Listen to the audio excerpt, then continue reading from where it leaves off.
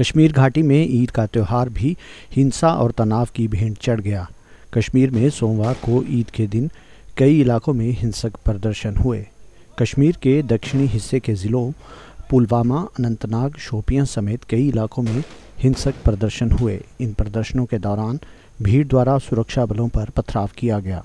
वहीं बारामूला ज़िले के सोपोर में हिंसा में करीब 12 लोगों के घायल होने की खबर है। इसके साथ ही श्रीनगर में पुराने शहर के कई हिस्सों में बेकाबू भीड़ द्वारा पत्थरबाजी की गई।